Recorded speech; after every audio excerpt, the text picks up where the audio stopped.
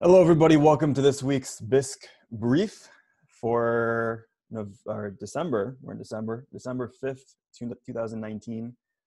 Uh, today, we're going to talk about privacy protecting growth strategies. Um, growth is something that we haven't really been pushing too hard over the past several months.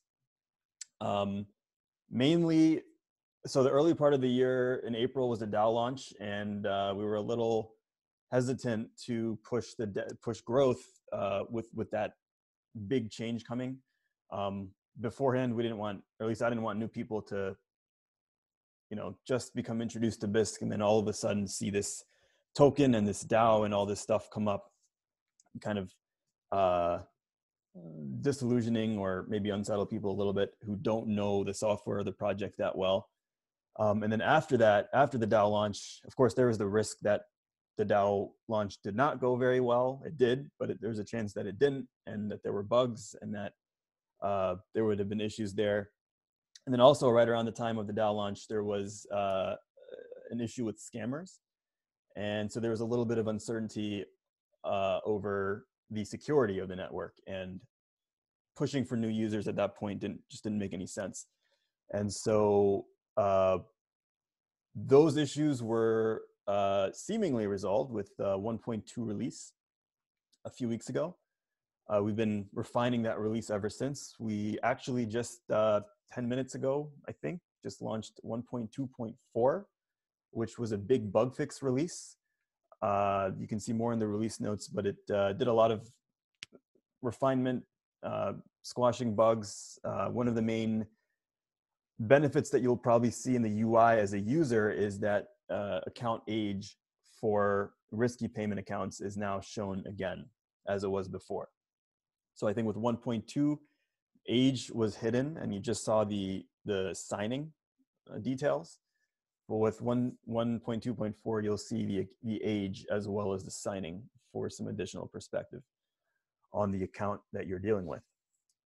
So yeah, that's some background on growth uh, so far this year and why it's been a little bit.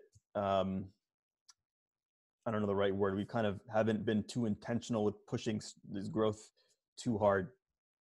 But I think now is a good time going into the new year with the new release and uh, what I th- what I think is a safer network, um, better primed to handle new users, and yeah, it's also good to see you guys on the call. I think uh, in addition to you folks and, and people watching on the the YouTube stream afterward, we've had a good, what looks like a good stream of people interested in growth and marketing and communication become involved with the project recently. So it's a great time. Uh, I think the project itself is ready for this stuff, and um, it looks like it's attracting people who can help put this uh, this uh, this uh, initiative in motion. So uh, it's great to see that. Let me share my screen to give you an idea of what I have in mind to cover. Uh, just one slide. I want to, uh, where's the button?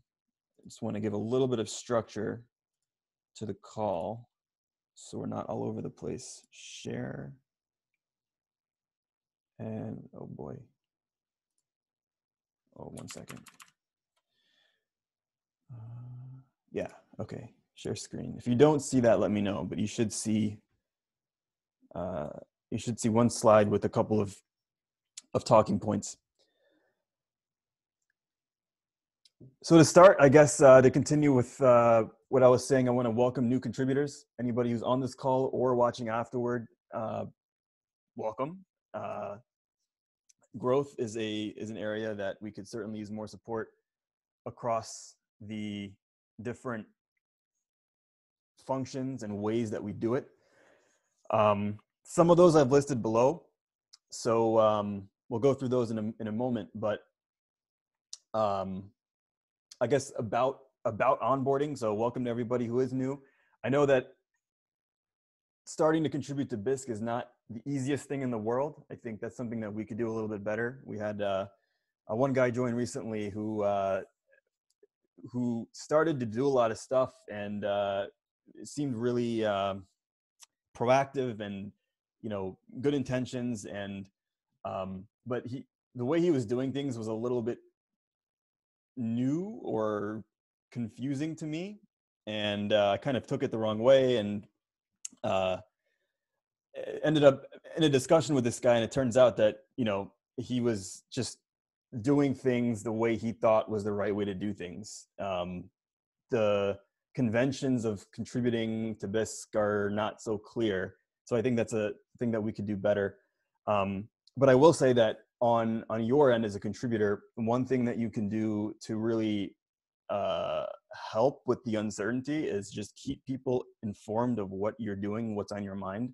If you have an idea to uh, help the network, uh, whether it's a growth idea or uh, a feature you want to see in the software or a translation you want to see or uh, a payment method you want to see added, whatever it is, just post the idea in, in our Keybase channel or on GitHub or somewhere where the idea can be publicly evaluated and discussed.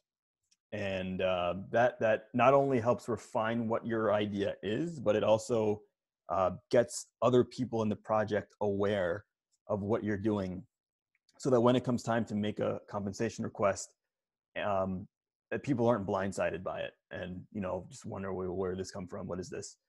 Um, so it's just good for everybody involved.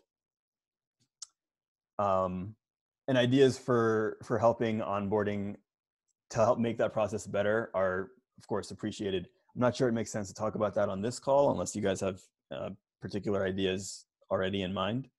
Um, but yeah what i wanted to focus on were were the the, the bottom three points of what I see as the the main avenues for growth that can be refined and and optimized.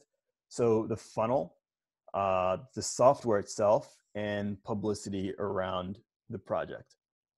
So, um, yeah, I think it's attractive to think of growth, or at least I tend to think of growth as just this one big blob of things that that that need to happen. But it's helpful to segment them out and really understand what these the different parts of this uh, initiative are, and um, you know, you as contributors can uh, think of it, make it easier for you as contributors to think of where you fit, where you may fit in best, and where you may be able to contribute the most um, to help out. So for the first item, uh, and these are listed in no particular order, but um, I guess we can address address the funnel first, since that's listed first. Um, so I think of this as the the full process of when someone learns about Bisq to their you know initial interactions, going to the website, um, of course SEO, finding the website in the first place, whether that's through social or through search, and then going to the site, uh, having some kind of conversion. So you know, ideally downloading the software, and then um, and then actually using it. So there's kind of, I guess you could say, a funnel on getting someone to download the software on the website, and then within the software itself, uh, actually getting someone to to make a trade. So I, I can't tell you the number of people I've met who download the software. I think it's really cool, but then open it up and like just don't do anything with it. They just don't know what to do. Um, so I guess that's kind of kind of uh, continuing on to the second point of the software and optimizing that to to make it as approachable as possible. But um, yeah, I guess I'm kind of going through this fast. Does anybody have any any ideas so far? Maybe on the funnel side of it on SEO. So Ricardo, I don't know if he's on the call, but Ricardo made some recent pull requests on SEO um, that that I merged that I mean, fairly simple, what I would think of as low hanging fruit, just adding the uh, structured data that Google can use to make more optimized search results. So, for example, one of the ones he added was a um, some markup on the FAQ, the frequently asked questions page, where you know now, or maybe in a couple days, when Google uh, has crawled the updated FAQ page, when someone searches for stuff that's on the FAQ page, it'll show in Google as a um, like as a question block. So you don't just see the search yeah, result in text; you also see like a bit of an expanded card view that people can engage with uh, a little bit better. so that was just simple markup that you know that he that he put in that I didn't know about, but um, will you know hopefully increase the SEO results of uh, of the Bisq website. So if anybody has any ideas on like SEO and like improving that further, um, that that'd be something we could do. I mean, that's you know, I think that just requires So a know-how. of things That's- to add. So first of all, uh, I, together with Wiz, I I am one of the people who have access to the Matomo instance, which is our analytics, Google Analytics, sort of. It's Yep. uh, it's an open source version of it that is privacy focused, and the traffic to the website is pretty constant. And also, I, I believe that what we see is a very small sample because our users are very privacy aware. And I bet, I, I would bet a lot of money that 80% of them use ad blockers. So they would be blocking this tracking. But the, the traffic is pretty constant. Even though when we make um, media appearances like the Tales from the Crypt, uh, Crypt uh, podcast or the Stephan Livera podcast, still the traffic in the website doesn't change much.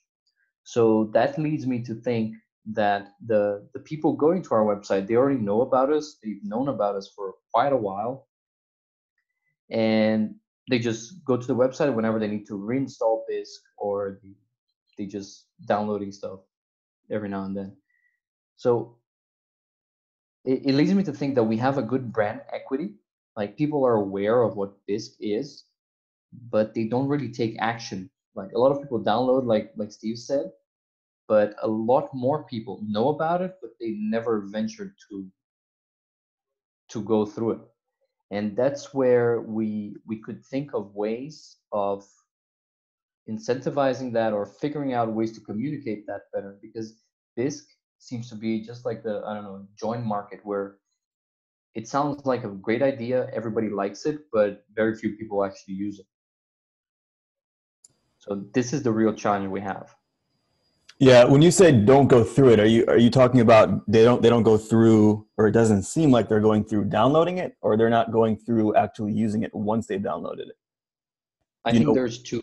So like first of all, the traffic to the website, we have less than a thousand visits per day, at least tracked visits. Yeah. So I I think that would be some twenty percent of people actually visiting because the other eighty would probably be using ad blockers, but I just can't tell from the metrics. And then once it is downloaded, because it is a peer-to-peer program and well, especially the newer generation, they're used to web services where everything is solved for you and you just create an account and start using. This uh, mental model of peer-to-peer software is is very foreign to people. So they're used to they're not used to I don't know file sharing like Napster, Kazaa, or all the old stuff. People who lived in the internet in the 90s and early 2000s know a lot about. New people don't know about. UX wise. Right, right. Yeah, so I, Pedro just dropped off the call, but I think he, um, I think he holds the key to a lot of this because uh, I don't know if you guys saw, he had some um, some mock-ups for a new interface for the Bisq software, uh, and one of the key elements of that of those mock-ups were a a wizard to guide people like when they first open the software what Mhm. should they do? And he had very specific like you know make an account and it was like a, just a screen by screen one step at a time how do you do that? And then once you have that done make an offer you know don't look at the offer book and get disappointed at the liquidity make an offer because there are a lot of people lurking that will probably take your offer if you make Mhm. a good one Yeah, I think that's a very good idea. That's also the the feedback that I heard from last week. I, not last week, but a few days ago, I recorded a podcast with some of the Brazilian guys, and this was exactly the feedback that one of them gave me. Like, hey, why don't we have a wizard in Bisq to make it useful, like easier for to onboard new people, and new people in both senses of the word, right? Newer, younger people, and new to the application. yeah But I think on the other hand, on the site itself, we have a very good website for an open source project. but it's not so welcoming for people who just want to be users. Mhm. So if you go to the website, we have like a, a clear text saying, "Oh, this is a decentralized exchange," but it's not really a selling page. So I think we could experiment with having specific landing pages where we we link to. The hard thing is because we don't have paid media, we can't divert people directly to these pages. But it could be something that we experiment by, for example, switching the homepage uh, for a couple of weeks to a page that is way more focused on explaining what it is and and calling to action to download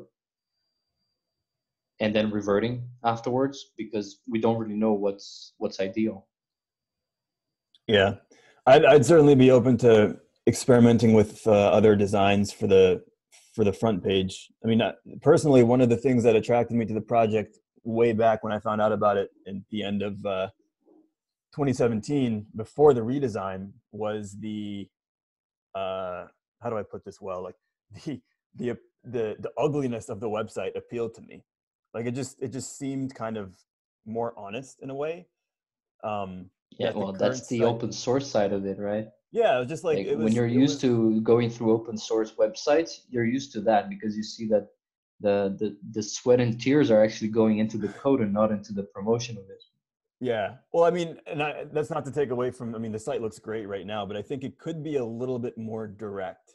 Kind of maybe what you were saying, like what you were saying, is just make it more focused on take people taking action and downloading the software, as opposed to explaining it and like having all that marketing there. yeah we could also test that in a few markets Mhm. and and see how that goes like that's not a, a whole lot of work to do like right now we have about 10 to 12 percent conversion rate of well, on tracked people like i don't know the the people with ad blockers so from 100 people that fall into the website 10 will will download at least one version of the software Wow. and it, it's pretty interesting that most of them is windows and Mhm. then second is mac but there are many days where there's more linux downloads than mac so Yeah. overall mac is is above linux but many days linux beats mac which is pretty unusual Yeah, yeah. If you look at the aggregate numbers, the the number of I think for the recent most recent month when I did the numbers, it was it was very close. The Linux, if you combine the Linux with the um, like the Debian with the uh, RPM, then it was very close overall to the Mac. Uh, yeah. Anyway, that's it's interesting. Um, Yeah, but also offsite, we need to figure out ways to get people to download because I feel like people know about Bisq, but they never ventured inside of it. So the podcast that you and, and Wiz have been doing, that creates a lot of awareness about Bisq, but we need to get the second step, you know, after awareness, they need to do some action and, and get to the website. Like some real interest because also I feel like we get a lot of users whenever like coins get delisted delisted from the the exchange they use like OKEx I think it was today they delisted Monero mhm. I think we're gonna get a lot of Monero people joining in because of that so people see Bisq as the plan B and because they were ever aware of it they only go to it when shit hits the fan right Right. Yeah.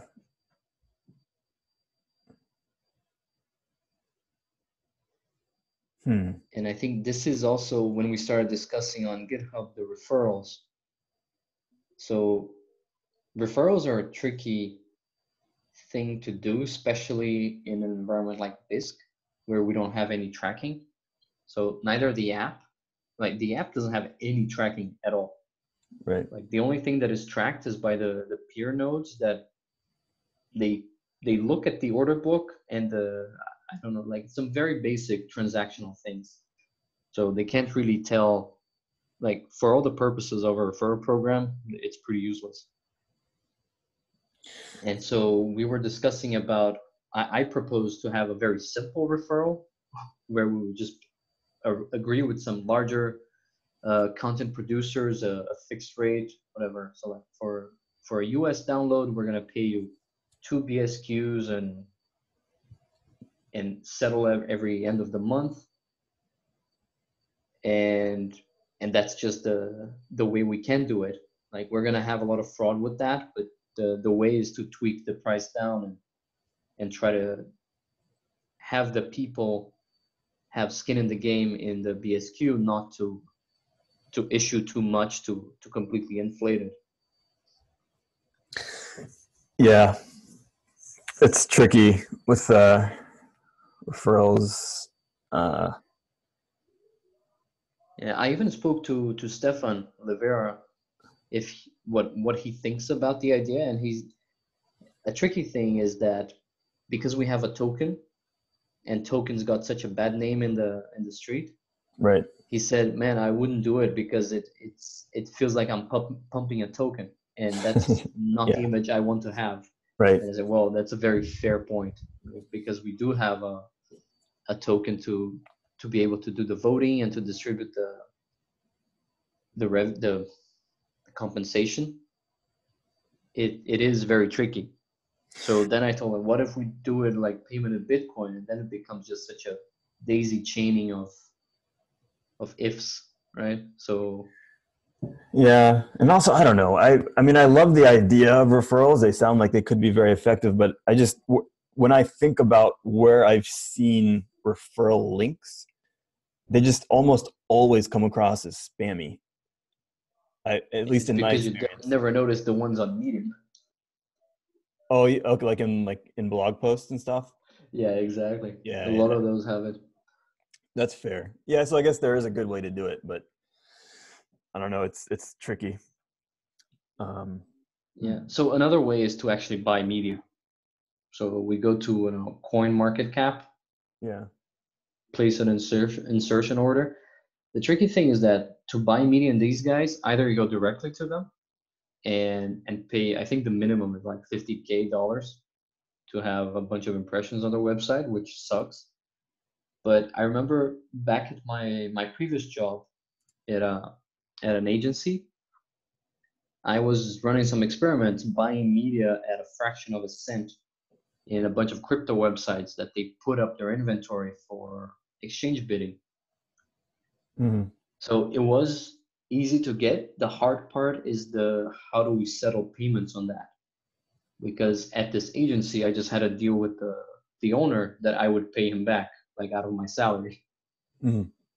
So to do something on behalf of Bisq, it's a bit more tricky. So either somebody needs to constantly be doing that, and then how do you how do you do that? Do we send a reimbursement proposal to the DAO? Like, do we even want to do that?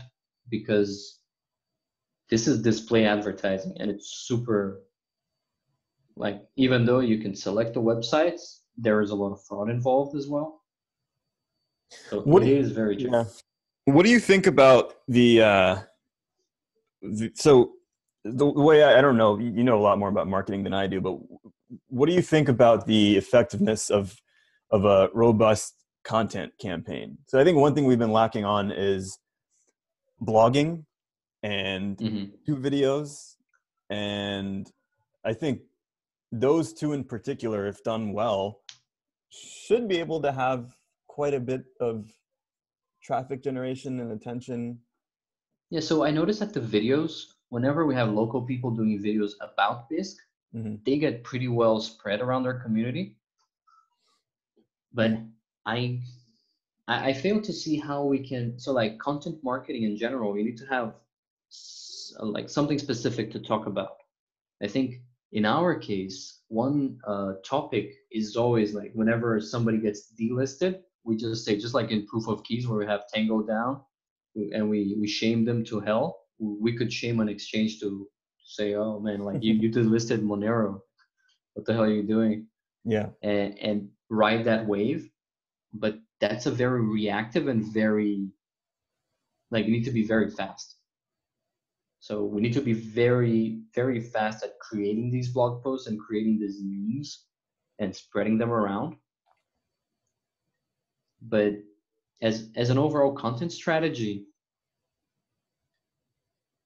like the more content we create, the more we're gonna index for other related things like decentralized exchanges, how to get your first Bitcoin, how does this work?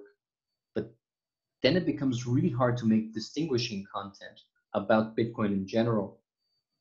Right. So the the content that is everlasting, we, we pretty much have it, which is how to trade on Bisq, how to do these things.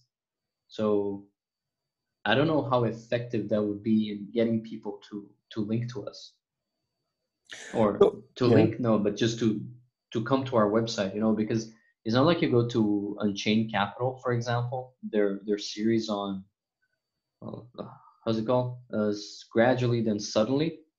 hmm That's a very interesting uh, series, and it is about pure economics. And it's the it's a guy, it's the owner of the company who's writing that, and like writing very unique pieces of content, like thought leadership type of stuff, where we get people to to talk about us and be mentioned all around. Yeah. I'm sure we could think of I'm sure we could think of unique content worth publishing. I was actually just thinking I was I was talking to someone yesterday who uh, was suggesting that we take the social side of what Bisq is doing and turn that into a content strategy. He was actually suggesting to do uh, a whole podcast on it, like like a Bisq Mhm. podcast. Just have a series with people like um, the Human Rights Foundation guy. I forget his name. Um, Mhm. There's a uh, yeah, but just have like a, have a talk with him, have a talk with people around the world who are you know in different countries uh, and their experience with the trading experience on the ground and how this has been helpful for them. You know, Africa. yeah, but you see, this is more of an en- re-engagement type of thing. It's for people who already use Bisq, no? I think it could be both. I think it, it could be great for people who don't quite grasp what Bisq is all about. If they hear a podcast or two about one of these use cases, then you know maybe it sparks the imagination. Mm. Yeah, I, I, I don't I don't really agree with that. I think because the podcast is something you subscribe to, and it, at, at least uh, the way I hear podcasts and the people I know hear podcasts is they subscribe to one and they stick to it. Mhm. So it's not like they go podcast hunting for a topic and they end up buying it. I think this could be a, a cool thing to be engaging the community and having updates about it Mhm. but I don't see how that would get us new users. At least I see that being much more effective done by local content producers, Mhm. sort of like we have now, but in a bit more coordinated way.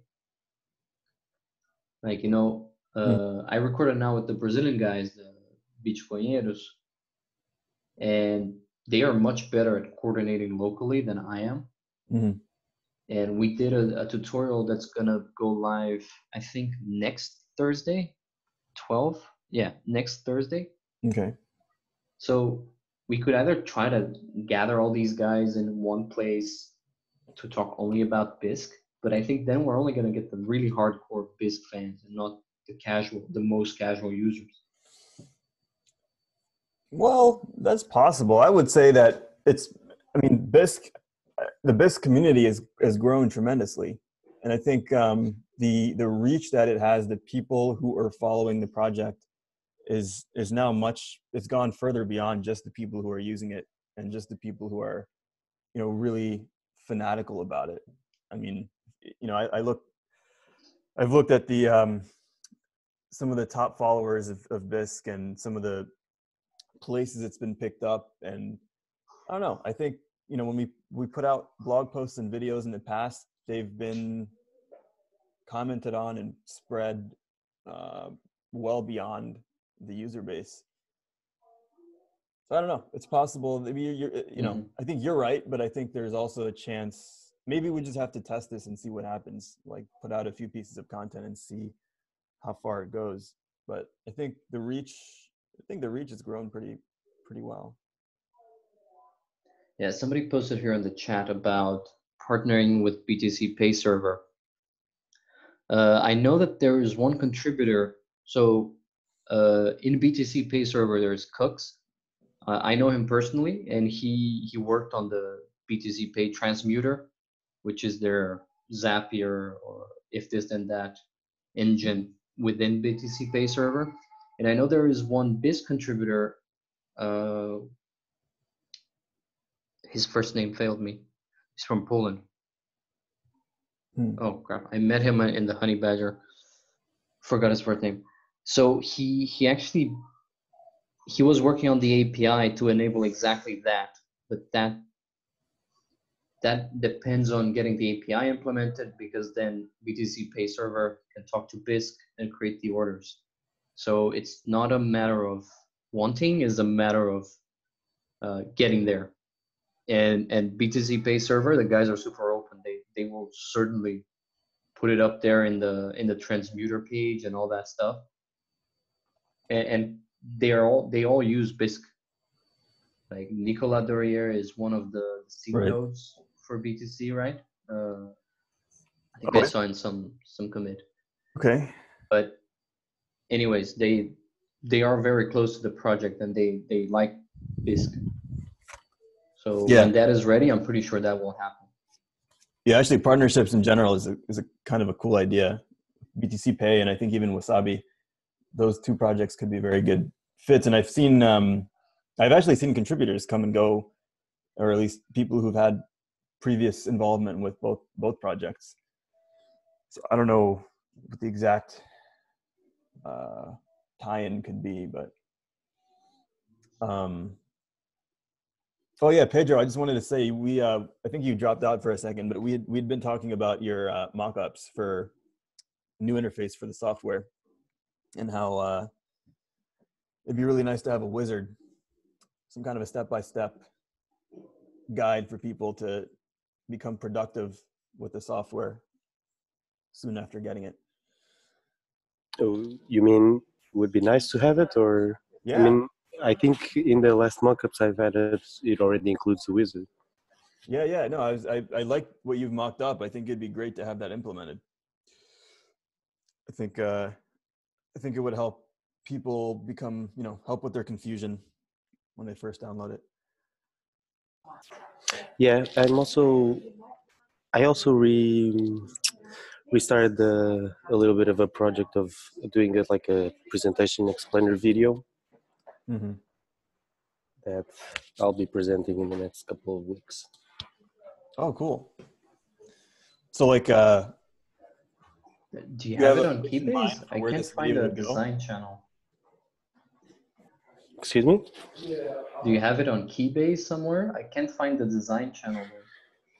Uh, yeah, there is a design channel there. I can see it.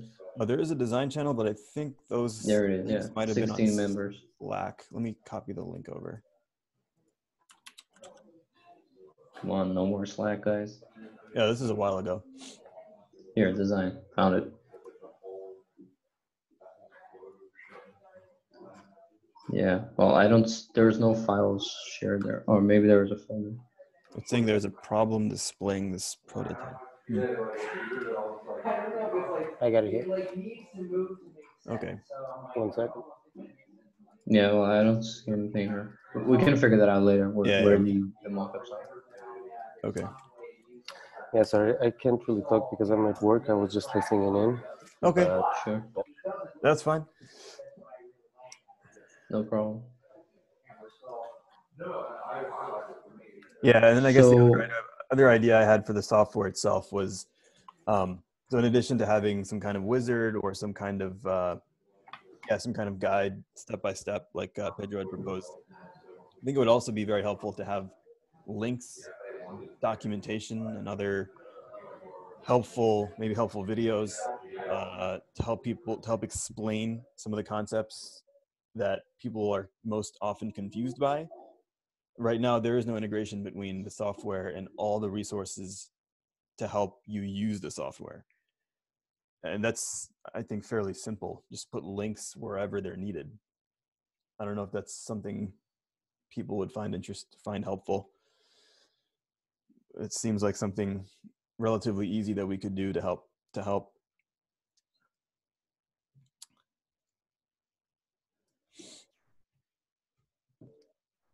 Yeah, the software itself is very tricky to to do usability tests. It's not like you can just buy a bunch of random users on usertest.com and have them go through it. Yeah, but maybe that's an idea for uh, for a meetup or an event. Like just have uh, you know four or five people open up Bisq for the first time and then just observe, observe, see what they do and what they're. Uh, actually, what if we indeed do that? Like we buy ten users on on some of these websites to see what. The, well, first of all, I don't know how we can refine these uh, whenever we do these requests but to see what people think of the the whole onboarding like they're going to be sharing their screen and and doing all this. Uh, from my experience at, at, the company i work at these things are super insightful. You start seeing a lot of the assumptions you have when you build things. Yeah. And it's yeah it can be very productive i would i would say in my experience it's it's best i know it's hardest but it's best if you can do it in person there's a lot you'll miss yeah if you can't. That is true. Otherwise, uh, I think it's best if you can get a video. So I did some testing way back in the day, and uh, some companies would ask for a a video, like actually record your screen and your microphone as you experience the product, and just be very talkative. Um, yeah. And some of the some of the feedback I got from those was also very insightful. It was almost like mm-hmm. it was the next best thing to meeting somebody in person. So somebody said on the chat that they will have a meeting to set up to onboard a new person today, and uh, not today, this week. That will take notes. If you can record it, that would be even cooler. But make sure you ask their permission. But yeah, notes uh, at least the audio. That's a great idea. I look forward to what you have to what you have to say. Yeah, that's something we probably I don't think we've ever done, which is pretty wild. I mean, we have like we have feedback we get through a Google form every now and then, but like real Yeah, every trade completed you you get shown the, the link, right? Yeah, either that. I think it's the first one. I don't know if it's every trade, but maybe it is every. Yeah, trade. like I think you get the dialogue and then you can dismiss it forever. Okay, okay, yeah. Because I know I don't dismiss any dialogues. Uh, I mean, I don't hide them forever because I want to read them later. And I get every time I complete a trade. So for Mr. Shill in the chat, I, I agree with you. Video might be an, an issue with privacy, but maybe audio, if they're very vocal about it, at least their questions, it's very interesting to hear. Well, if it's in English, right? So yeah, it's a, I don't know, in Filipino or some language that very few people in this community understand. So, okay, English. Yeah. If you could ask him if you could record the voice, you can modulate it later so we completely erase the traces of him. Or you could even keep it for yourself and just share the insights with us. Yeah, that might be that might be good enough. Whatever you're comfortable with. But I would say one thing coming out of this call that we should do more often, or at least try to do a little bit more in the next few weeks, is just observing users. I think I think we could learn a lot from that. That might even help inform growth strategy and how to approach people. Uh, yeah. For that. So, okay. Cool. So any any, any concrete points. things that we want to do for the for the website in the short term? Shall we experiment with the different landing pages and having a, a list of content that we want to tackle that we think would be uh, media worthy or somebody would share it. I think that so, would be a starting point. So landing page, yeah. What was the other item? List of content. Yeah, so like like you said, that we should write more blog posts and oh, have more okay. videos. Yeah. Like we would create a, uh, how do you say that? Uh, a schedule of what we plan on approaching and then we we go around trying to to build those pieces of content and get them out okay yeah maybe we can start with a short list of i don't know three items or whatever five items and see how they do um are you aware is there a tool that that you can use to uh to experiment with landing pages, or do you just kind of put them up? Yeah, there are many. There are many. But I think in our case, we can just do something simple. Like because we use Jekyll, I don't think these tools, like there is a tool I think everybody in marketing uses called Unbounce, Okay. where essentially you design variations of a page and then it does all the split testing and so on. Mhm. But I think for our website, because it is such a simple website, it is easier for us to just create a new page and redirect the home page to it for like two weeks and see how it goes. Because we have tracking on the from Matomo, we can easily uh, split that traffic between like landing page equals the, the current home page versus landing page equals the other home page and and compare the conversion rates of that being conversion rate being somebody downloading the software from that point on we have no way to track it Right. Okay. Do you think it makes sense to do that before optimizing the software itself? Or, I mean, I guess the software optimization is kind of going to be a process that happens over time. Is there, uh, i think these are two separate things so we could do them independently because like because we can't really make the link the full link of visitor to the website trader active in the platform we just see it as two separate things true. Okay. Yeah, we're never going to be able to do this link unless we want to sacrifice privacy and and data ownership Right, right. Okay. Okay. So, yeah, that sounds good. We can uh, experiment with a new landing page and some uh, some new content, some new blog posts, and some new videos. If you would like to be involved with creating these or, or, or putting forth these efforts, join us in the growth channel on Keybase, and we'll talk more about that there. Yeah, and I think even if people want to have content that's specific to their country, like I don't know, I know that in Brazil people have there are a lot of questions regarding the the new regulations that you need to to tell the taxman basically everything. We could potentially write about that. I don't live there anymore. I don't follow these things closely, but we could have localized stuff given that we have a website in a given language, right? Yeah. Yeah.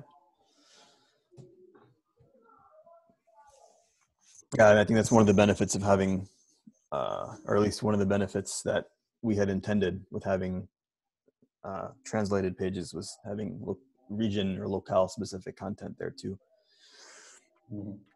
Which I don't think we have. Like I think even with um, even with this uh, the languages that are there now, I don't think payment methods are really tailored like in the, the frequently asked questions for example see the comment i mentioned paxful because i know about how it is the most successful Yeah, the gift cards would be a really cool addition. Uh, yeah have just- you have anybody here listened to the latest Tales from the Crypt with a guy who did some uh, analysis on Paxful and he went calling the traders there? I think it's the the the very latest one, if not one before it. It's Mhm. pretty amazing the the stories. Read the article. Yeah. interesting i have not heard that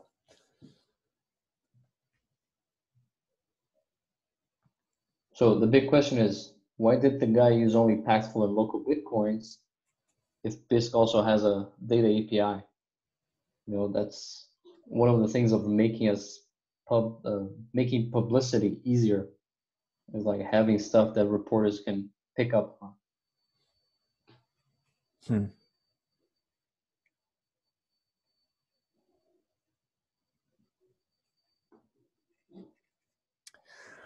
Cool. Okay, so that's funnel and software. I think we have some pretty good action items for that in the short term. Anybody have anything to add? I think publicity should be a little bit less complicated. Yeah, well, there is the typical conferences, the podcasts. By the way, podcasts. How did you and Wiz get? Did you get invited to Tales from the Crypt and Stephan, or did you approach them? Uh, I don't know. I think uh, Wiz knew Stephan, I believe, and then Tales from the Crypt, I believe. I know Matt is a big fan of Bisq. He talks about it a lot, and I Mhm. think we also reached out there too. Um, I know that in the past there's some podcasts that we have been invited to. hmm Uh, so it's really a mix. I think, uh, like I said at the beginning of the call, I don't know if you were here, Fabio, but I I was holding off a little bit on on pushing growth too hard this year before signing was uh, or um, scanning Yeah, exactly. of and stuff. So, um, uh, in the time we did have a couple of invites, and since then we pushed a little bit harder and just kind of reached out as well. And so I think going forward, we'll, prob- we'll probably reach out a little bit more and be more proactive about that. Um, especially since the project now just seems to have pretty good recognition in just in Bitcoin. Uh, when you reach Mhm. out and you say, "Hey, yeah, I'm from Bisq," and most of the time they're, you know, willing to listen and possibly do something. We can kind of pick and choose where we think exposure is is best for the project. There's somebody who sent a question here. Let's make sure we answer. Is there any feedback available from users who have downloaded Bisq but not used the software? Well, we know they exist. we we don't really have Yeah. a way to collect this feedback. It's only anecdotal evidence. But it's a good question. I think that's the kind of feedback that I would like to get from people, like from like live feedback sessions. Like, yeah, from the the guys that I know that told me that, they say that they, they just installed it and they never got curious to use it because they were pretty comfortable with their uh, centralized exchange Mhm. fashion. And in Brazil, we saw a big uptick in people using this because of the like in September was the first month that people had to report, basically tell the the IRS everything. Every crypto transaction you have, you need to tell uh, your social security number, your address, which address you're sending to, the social security number of the person, the amount in crypto, the amount in fiat, basically everything. So a lot of people went into these more self-owned things that you have to do your own reporting Mhm. because they didn't want the exchanges doing that for them. Yeah, that'll that'll do it. And, a lot of people only started using after something like that happens. Yeah, Uh, any complaints on the forums? No, I, I, I think they only go on the forums where when they're more engaged. So when they have an actual problem using it and not downloaded, didn't have problems. There's even a cohort of people who download, have problems opening it, and then they go on GitHub to send a ticket. Yeah. He has a blog. Who, who, who wrote this? Uh, ah, okay. So this was because we were talking about the the other thing. So we got a bit derailed. Yeah, I mean, I don't know if there's much to talk about. Publicity is kind of opportunistic, and I think the, I guess the we, we already talked about videos and blogging. Uh, I guess subtitles is something worth mentioning if you're in a, uh, or if you're if you can translate uh, some of the existing videos, some of the more, you know, popular, more watched videos to another language. That's another thing that you could do to help out um, it's just a relatively easy way to get you know to um, uh, make a piece of content available to another another market Yeah, and also um, I remember. Oh, that's the name of the Polish guy I was trying to remember. Bernard. Laden, uh, Bernard. Forgot his last name. he contributes to um to btc pay No, no, no. He we were discussing in in Riga. We're discussing exactly that, and I remember I saw some. I don't remember if it was a commit or a pull request, but basically he said that he needed the API up so he could work, and that's still the case. Like the, there is no Oh API yeah, yeah, yeah. to do anything programmatically. So Right. the API is the only uh, elegant way of doing that. Of course, you can always hack it around by, by having a Python clicker and do those things by guessing where the pixels are in the screen, but that's not really advisable. Yeah. Not when you're handling money. That's probably not a good idea. Very big chance of fucking up. no, but uh, I think the API is uh, being worked on pretty actively right now. If you go to the gRPC API channel in on Keybase, it's hopefully hopefully getting somewhere now. Mhm. Everybody wants it pretty bad, so hopefully it'll hopefully it'll be, it'll be out soon. But does anybody have any feedback on the subtitles? Like, do people actually use them? Because that's some, not something you can actually see on YouTube analytics, as far as I remember. That's a good question. I think the the way I've seen it done lately is uh, so this one guy Kiss Bitcoin has a video that he's translated now into or gotten translated into I think five languages, and he just Mhm. when he tweets the video he just like lists the languages in which it's available. Mhm. Um, I'm assuming that helps. I don't know what the numbers are. What he's what he's seen kind of viewership. I know that on YouTube, if you put a transcript of the video, it can auto translate using Google Translate, which is a start. oh Like, it's a start to have all languages from the get go. Okay but still that's it is always better to have it properly translated not machine translate but it is a start I wonder if you can add a uh, a URL argument that that specifies the language that you want subtitles to be in. uh, not on on youtube itself but on embeds yes Hmm, okay. at least it was like that. I remember i, I wanted to do exactly that. Mm, like two three years ago when i was working for for another company Mhm. and we had a video in english that we had subtitles in portuguese. And that was the way we found to put it in the blog. It was to to use an embed and pass in a parameter through the embed. Okay. um, but still uh, conferences. I remember that we we had bernard talk in the in the panel at baltic honey badger Yeah. and then we have meetups where people just show up and, and talk about Bisq. Like I did one here, Bernard did one in Poland. There, there's people doing them all around. Should we have a list of target conferences that we would really like to be in?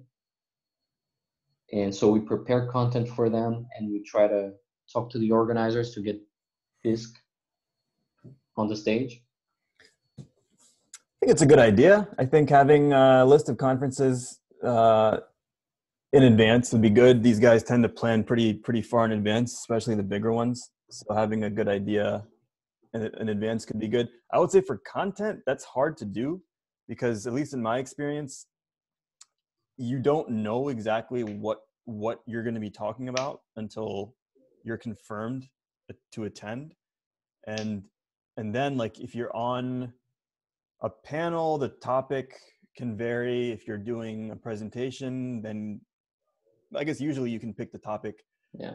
But I think, um, yeah, it's hard to plan the, the content ahead unless. Yeah, but it you is something that we can strategize for. So, for example, uh, if we can start collecting stories like the the guy who did the the Paxos uh, analysis, or I don't know, uh, Chris Beam's first talk in Hackers Congress, which is which was how to bootstrap a DAO, I think Yeah. which is very specific about one aspect of Bisq. I think that's more that's more specific and more likely to get us accepted because when we just talk about Bisq in general, there's pretty good awareness of what Bisq is, and nobody's really interested in knowing the basics. Right, right. Yeah, so maybe having a repository of ideas and talking points and pieces that people can put together for whatever it is they decide to, to present could be Mhm. helpful. Hmm. I'm wondering the best way to do that without getting it buried in a Google Doc. If we can maybe make a, mm, maybe we can make one Well- issue in, in the growth repository dedicated to conferences. Why don't we add a markup file, uh, a markdown file to to the repository instead of an issue? We add the markdown file Mhm. as the conferences we no, not the conferences, sorry, the topics. Because right now it is a repository. There's a README, and it's empty, right? Pretty much. Yeah, I mean, then we basically use the issues. yeah, there's a vague, yeah, yeah, pretty much. It's effectively empty. Yeah. So we could use that. The only issue with that is if someone wants to offer an idea, then they have to like go through the whole pull request process, as opposed to just adding a bullet point. Yes, that is true. That is very true. So I'm wondering if we can have a link to the Google Docs there. ah, that's not bad. Yeah, why not? we could do that. Yeah, well, okay, so somebody is, Mr. Swain again, sent a question. Is there a budget to do test marketing? If a Twitter account from US, UK, Brazil with 50k followers says they are used Bisq a few times, the traffic might pick up. Just curate the content to be helpful. Well, this is one of the ideas by having the content uh, readily available. But the the problem of uh, but when you say budget, what do you mean exactly? Do you mean to pay the the Twitter account, so like the content producer who talks about Bisq?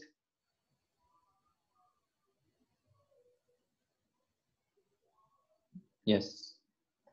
Hmm. Well.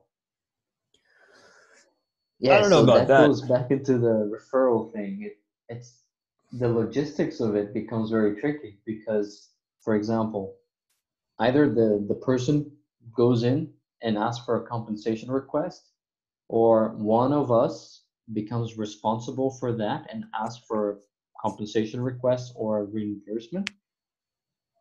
And what if it gets denied? Yeah. Plus, it's I don't know. It, I don't know if I like the idea of like paying for Yeah, yeah paying Yeah, yeah, for I agree. paying for exposure that way. I don't know. It's a bit questionable. I would prefer to see people just as they are right now, just like talk about Bisq because they want to. Yeah, like it would be. I, I come from a media background, so I think it would be cool to buy media on behalf of Bisq and have very specific placements, but that easily becomes a nightmare in how you pay that. How do you report back back to the DAO where this money was spent?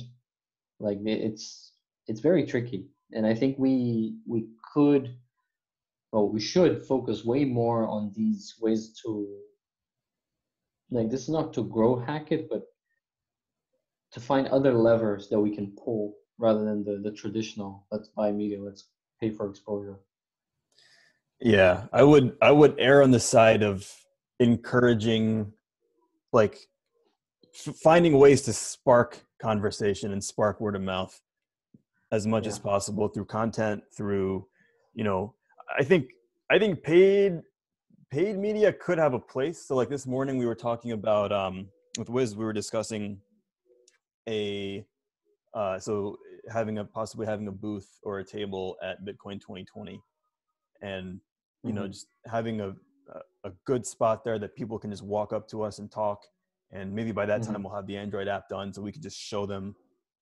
right there the Bisq experience in the palm of their hand like really connecting with people like that i think that you know that that might have a place i think that could be very Yeah. effective um but when it comes to like yeah that was the idea of the conferences it's like there are conferences that we might not even talk but having people present like you remember how it was in the hackers congress we right So for those who weren't there, we I was going to Hackers Congress, Steve was going there, and then we found I think two other people who were, and we created a small Slack channel, just the, the four or five of us. And we said, hey, let's meet up after the, the last uh, lecture and go for, for dinner together. And then I find somebody, I think I, I don't remember who I met on the way to the exit, that they said, yeah, yeah, the Bisq people are all over there. And then we get into a room where there's like 17 people who heard about it and they were just meeting up because they they were contributors or they are still contributors or they they've used the the platform and they like it. And we just went out for dinner with everybody. It was 17 people right steve or? Yeah it was something it was crazy. It was around 15 or 17 people. It was great yeah so being present in the conferences even if you don't talk like at the stage there is a lot of value to it in community community building and you know meeting other people who you usually just see as an avatar from GitHub or right. Keybase. Yeah. Cool all right so sounds like we have a couple of couple of things we can do coming out of the call do a, a new landing page for the website do a couple of new pieces of content to see uh, to gauge what kind of originality we can come up with and how far it goes. Do um, oh, do a list of conferences that we want to target for 2020. Yeah, Fabio, yeah, I wrote that. summary of three. Uh, like I can certainly help on the the first one. Like I still need to to do some things for the the support project that I I signed up for, which is lagging on my side. But that one I can certainly help. And the list of conferences can pitch some ideas as well. And I plan on attending attending a few. But I I'm pretty sure we can kickstart this, and everybody can pitch in. Yeah, sounds good. We'll probably talk about most of the stuff in growth. So follow yeah. that channel if you'd like to if you'd like to follow along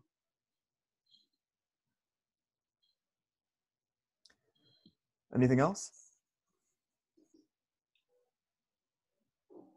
anybody that's muted that wants to say some nice words at the end of the call wait a few seconds for folks to type or unmute